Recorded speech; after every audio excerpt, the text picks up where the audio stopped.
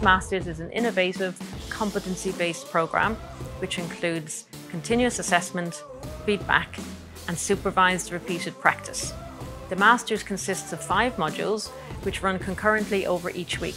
Module 1, which is core knowledge and clinical judgment, is delivered through anatomy, physiology and surgical oncology bootcamp, which starts in August.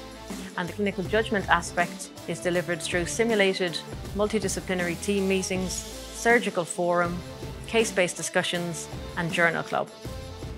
Module 2, which is clinical skills, is delivered through simulated ward rounds, simulated emergency room review and simulated nights on call.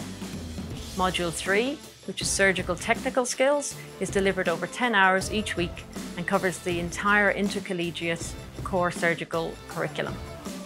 Module 4, non-technical skills, includes communication skills training, teamwork, situational awareness and crisis resource management.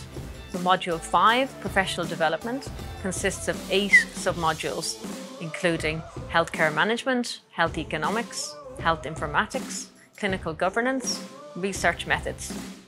We really look forward to welcoming you on this programme.